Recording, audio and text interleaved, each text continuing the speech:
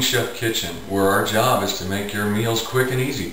Uh, today we're going to make a southwestern pinwheel. This is something you can make up real fast and cheap.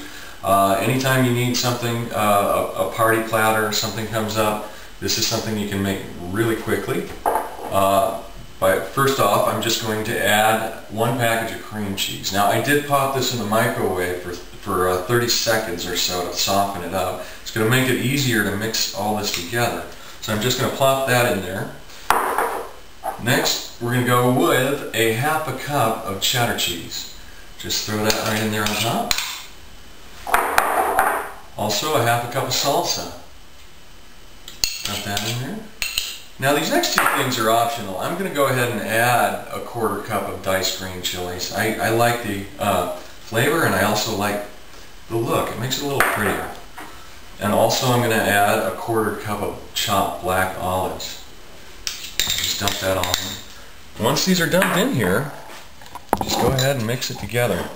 Um, mash the cheese. Get it mixed really quickly here. Show you just how fast this can be. Okay, now basically it's mixed up. I'm just going to take a tortilla. I'm using a large tortilla. You should be able to get up to a dozen uh, pinwheels out, out of a large tortilla. So I'm just going to take about half of my mixture here and spread it over thin. Pretty much uh, cover the surface, most of the surface.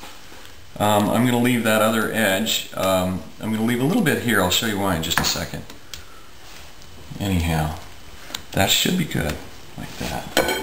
Okay, now the first thing we do is just fold the lip over. Then we're just going to simply roll it forward.